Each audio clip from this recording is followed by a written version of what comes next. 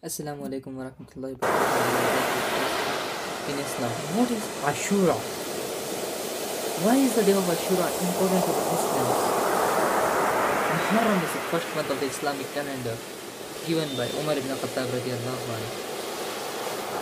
It is also one of the four sacred months of the year, Dhul Hijjah, Dhul Qaida, Rajab, and what do we call Muharram? The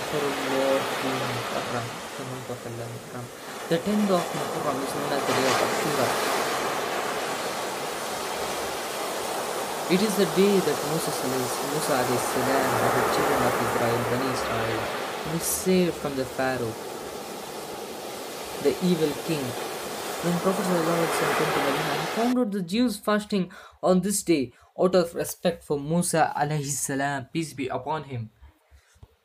Prophet Muhammad explained that we Muslims are closer to Musa salam, so he salam fasted this day and to- told the people to fast and observe the fast this day. He salam mentioned that the fasting on Ashura is an exception for the sins of a whole year that has passed, the previous year. He salam also said that if he believed till the next year, he would fast on both 9th and 10th of Muharram, but unfortunately he couldn't do it. Let's all do our best to fast on the blessed days and follow the guidance of our Rasul Muhammad and Nabi Sallallahu Alaihi Wasallam.